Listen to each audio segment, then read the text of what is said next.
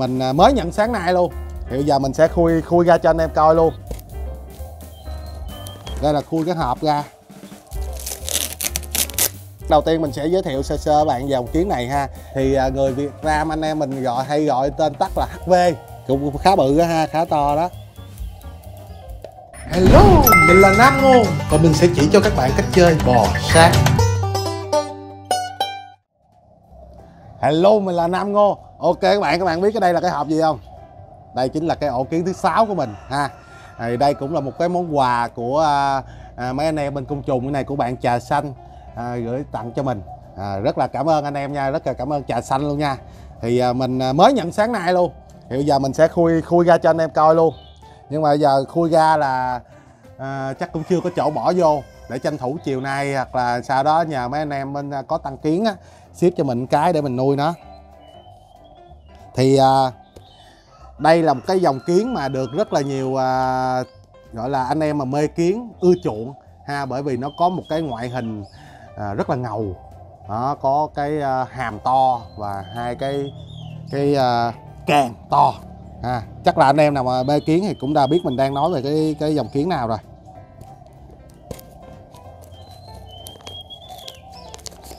Sướng. Lúc này à, chơi à, bò sát à, được cảm giác gọi là unbox khui hộp liên tục. Anh em đang coi livestream có anh em nào bên kiến không nha? Vô đây uh, uh, livestream nói chuyện chơi và cái gì mà mình không rành á thì anh em có thể comment bên dưới chỉ mình nha bởi vì bên này mình cũng là newbie thôi.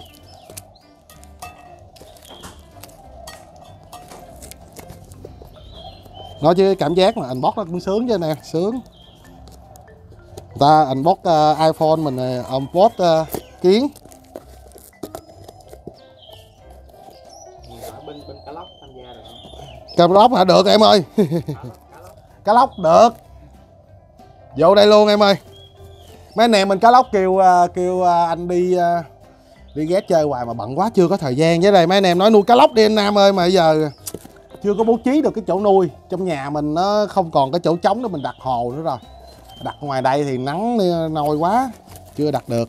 Đây anh em nha, đây là khui cái hộp ra. Thì ờ, bên anh em mà vận chuyển kiến thì lúc nào cũng rất là an toàn, có mấy cái ờ, bọc chấm sóc này nè. Để cho kiến nó nó rồi dán vô cái hộp luôn, dán cái này vô để cho đừng lăn luôn nè.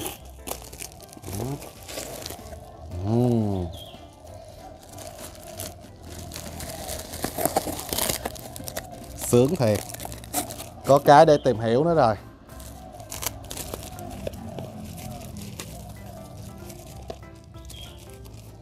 Nhiều lớp quá.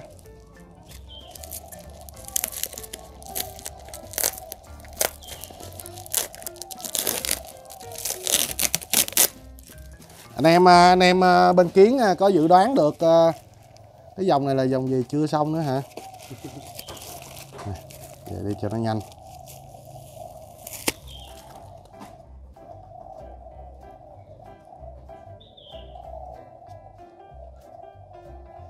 Đây anh em cái này là cái gì vậy ta? Giống mấy con dồi. Phải à đồ ăn đồ ăn đồ ăn. Đồ ăn không phải dội cục này cục gì nè?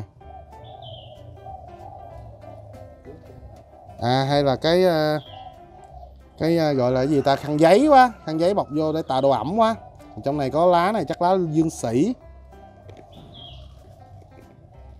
Rồi tiếng cái góc này nó có kiến mình quay cho anh coi. Em thấy ở dưới phía dưới phía dưới phía dưới. Đây nè. À, ok các bạn đầu tiên mình sẽ giới thiệu sơ sơ bạn dòng kiến này ha. Bởi vì con kiến này nó cũng khá nhỏ cho nên là anh em nào muốn muốn nhìn rõ cái hình dáng của nó đó, thì à, chúng ta có thể google. Thì à, cái dòng kiến này có tên tiếng latin là à, uh, Hybonatos uh, ven uh, Venator. Venator Venator khó nhớ quá. Ok Hybonatos Venator anh em. Thì uh, người Việt Nam anh em mình gọi hay gọi tên tắt là HV HV là dễ hiểu nhất uh, dễ nhớ nhất ha. Thì đây là cái dòng kiến nhiệt đới uh, được tìm thấy uh, rộng rãi ở uh, Đông Nam Á uh, và ở Miến Điện thì à, nói chung là mình cũng mới vừa tiếp nhận cái ổ kiến này thôi và cũng mới tìm hiểu thôi. Cho nên là những cái cung cấp những cái thông tin mà mình à, sẽ chia sẻ với các bạn à, tiếp theo đây là những cái thông tin mà mình à, à, tìm được ở trên à, à, mạng cũng như là của bạn Nhật Nguyễn chia sẻ thì cũng qua một cái cái bài ở trên à, trên, trên trên bài báo ở trên mạng luôn. Ha thì đây là dòng kiến HV à, đây là cái dòng kiến săn mồi. À, có kích thước lớn kích thước của nó thì từ 1,5 à, cho tới 1,6 cm và được rất là nhiều à, tín đồ của kiến à, ưa chuộng bởi cái đặc tính săn mồi này. Nó có cái hình thể rất là ngầu à, và có cái hàm to hai cái à, càng cũng rất là to. Đó cho nên là được anh em rất là yêu thích. Thì à, cái dòng kiến này nó có cái vẻ bề ngoài á cái body của nó là màu đen. Ờ, rất là khó thấy tại vì à, à, bạn trà xanh cũng bỏ nhiều cái lá vô đây cũng như là một cái ờ, cái cục khăn giấy nước hay gì đó để cho tạo độ ẩm và có chỗ cho kiến nó trốn nó sẽ không bị bị, bị stress.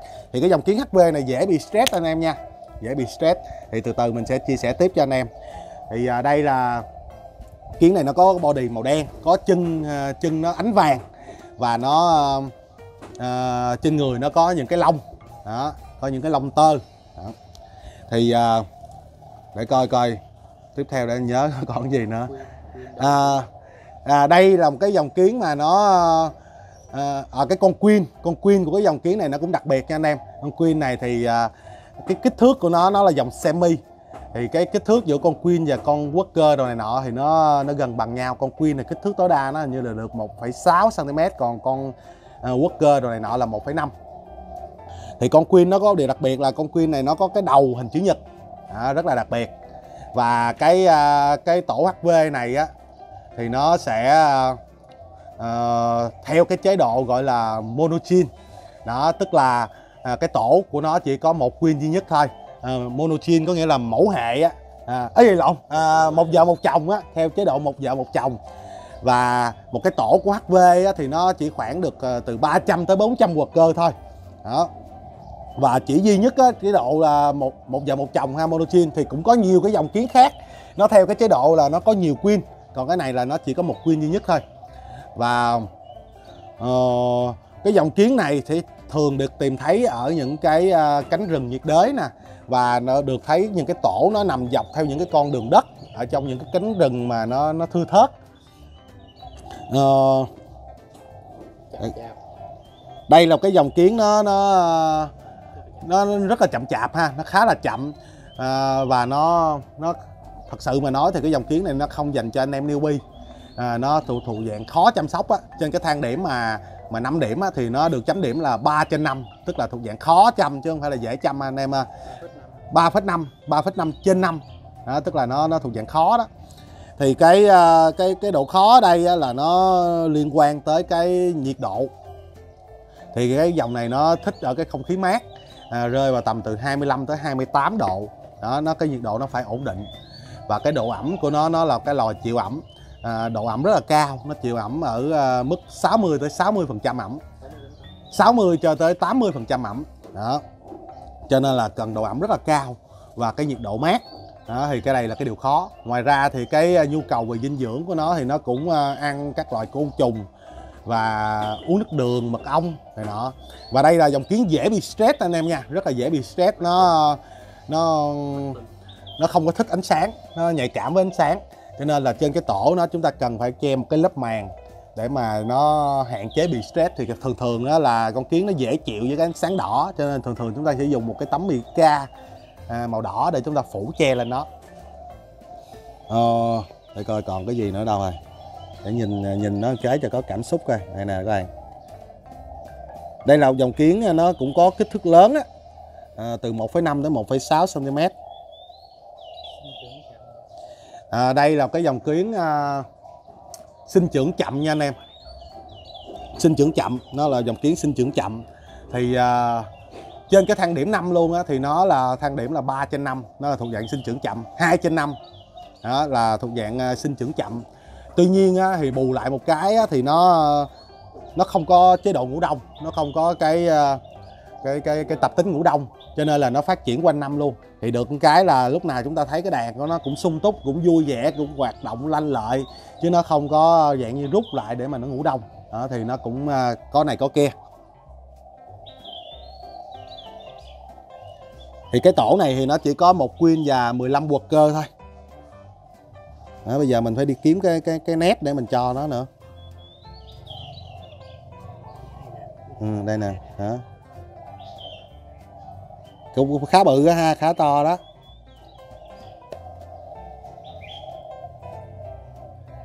Ừ, rất là dễ thương. Ồ, hai càng nó to kìa thấy hai càng to anh em có thể à, lên mạng tìm ha cho thấy cái hình dáng à, lớn của nó. Hai càng nó dài kìa hai càng nó dài to ra kìa. Đó. còn cái thông tin nào mình bỏ sót nữa không ta? À, à.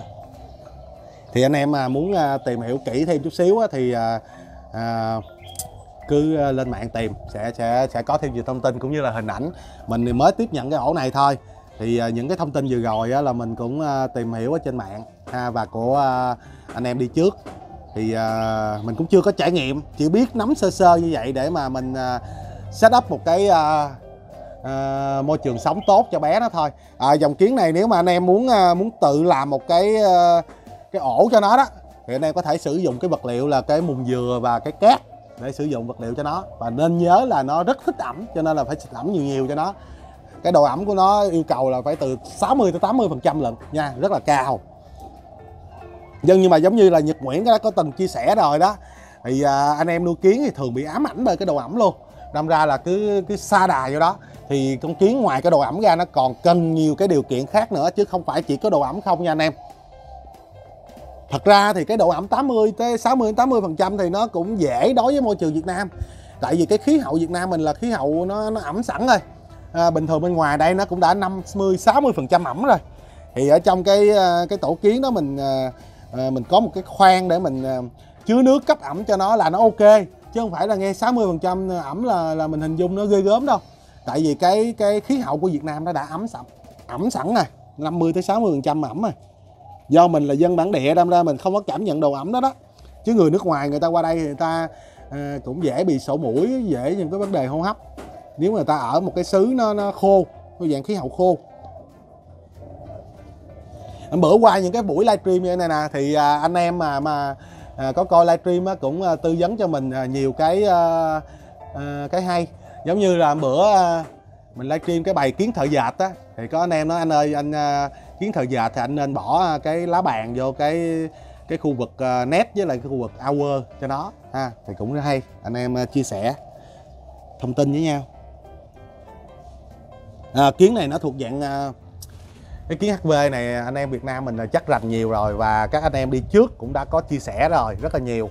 Về nó, nói chung nó rất là khó chăm và thường thường ờ, phần đông là nó sẽ ờ, sụm ha, phần đông là nó sẽ không có không có thọ được.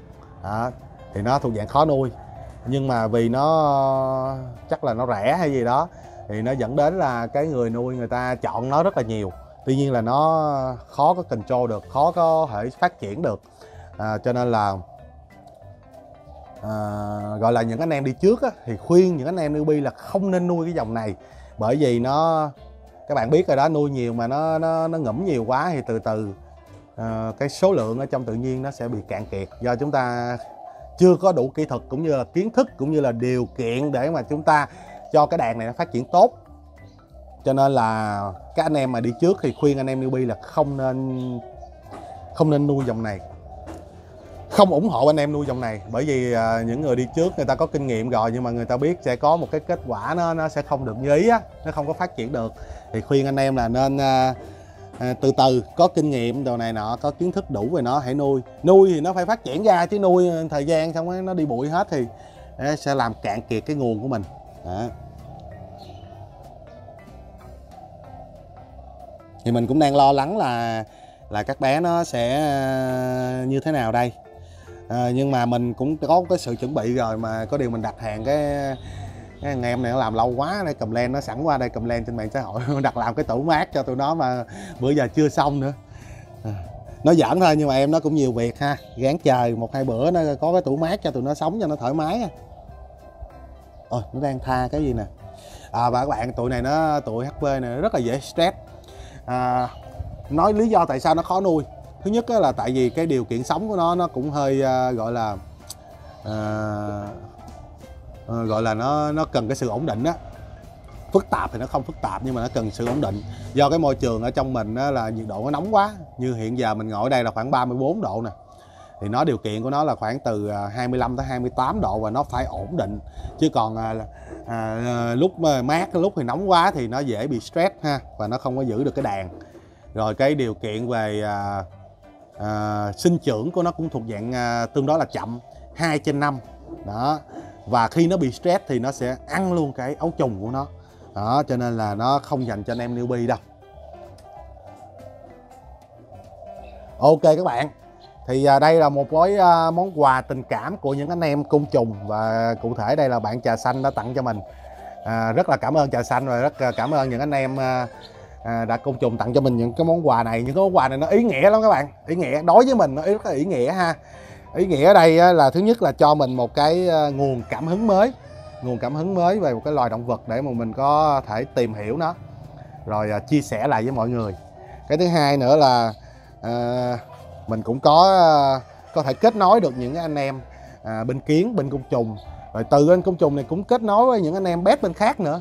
Thì cũng có rất là nhiều anh em coi clip của mình xong á, là đang nuôi cá đang nuôi uh, chó đang nuôi này nuôi kia thì uh, yêu thích thêm uh, côn trùng nữa. Anh em tìm hiểu. Cho nên là mình nói là đây là một cái món quà rất là giá trị đối với mình luôn. Đó. thì từ này nè đầu mình mới tò mò muốn tìm hiểu về những cái thông tin về nó thì ờ, rõ ràng là khi mình tìm hiểu là mình học thêm được một mới kiến thức à, ít ra mình biết nó là tên tên ờ, tiếng Latin của nó là gì nè, điều kiện sống nó như thế nào à, nó cần cái gì, cần sao à, tốc độ phát triển như thế nào, thường làm tổ ở đâu vị trí địa lý nó ở đâu. Nó rất là nhiều thứ để cho mình có thể ờ, khơi mở cái cái đầu óc của mình ra, ha. Thì mình rất là quý những cái món quà này.